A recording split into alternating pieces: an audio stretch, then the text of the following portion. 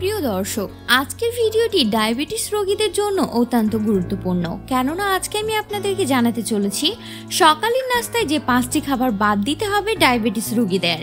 তিনবেলা খাবারের মধ্যে সবচেয়ে গুরুত্বপূর্ণ সকালের নাস্তা। অন্য বেলা যাই হোক, সকালের নাস্তা ভালো মতো হওয়া চাই। তবে সকালের নাস্তায় যদি অস্বাস্থ্যকর খাবার খেয়ে থাকেন, তাহলে হতে পারে হিতে বিপরীত।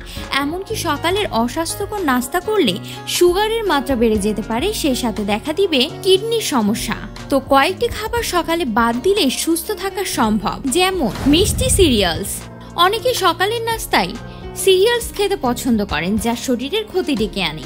এজন্য সিরিয়ালস কেনার আগে এর উপাদান দেখে কিনতে হবে। আবার অনেক সিরিয়ালস আছে যাতে অনেক মিষ্টি থাকে যা পুষ্টি উপাদান কম, এগুলো এড়িয়ে চলতে হবে। ফলের শরবত। ফলের শরবত শরীরের জন্য ভালো মনে হলেও বাজারের কেনা শরবত ব্লাড সুগারের পরিমাণ বাড়িয়ে দিতে পারে। কারণ এতে রয়েছে উচ্চ মাত্রায় চিনি, এর জন্য সম্ভব হলে বাসায় বানানো ফলের শরবত খান নাস্তায়। মিষ্টি দই।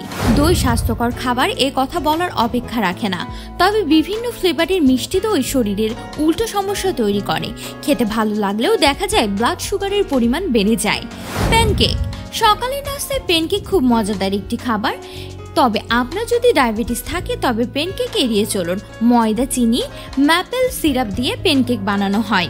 স্মুদি স্মুদি ব্যবহৃত দই, ফল এবং শর্করাযুক্ত সিরাপ আপনার ব্লাড সুগারের মাত্রা বাড়িয়ে দিতে পারে।